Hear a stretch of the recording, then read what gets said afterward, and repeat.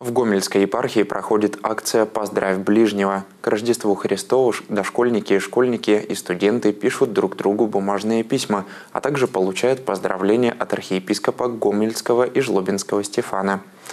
Подробнее об акции, ставшей уже традиционной, расскажут наши коллеги.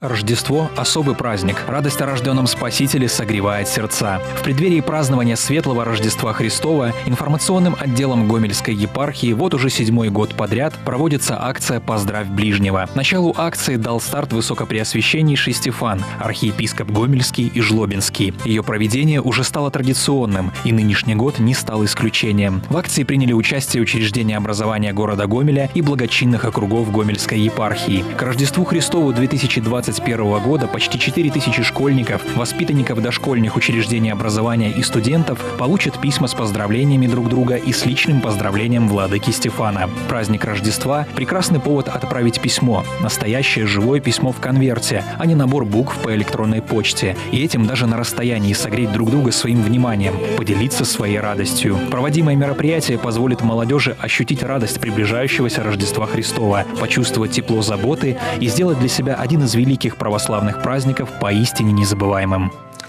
Дорогие друзья, сегодня мы с вами продолжаем акцию «Поздрав ближнего». И в этом году пришли тысячи и тысячи писем, чтобы поздравить друг друга.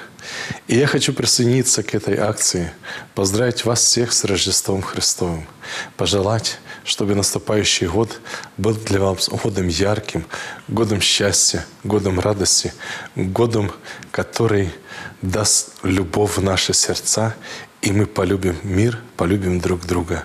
Пусть же Господь наш Богомладенец Христос, каждому из нас в первую очередь, наверное, дарует доброе здравие и любовь в наше сердце. Любовь, которая может объять весь мир. Любовь, которая поделится и с каждым встречающимся на ее пути.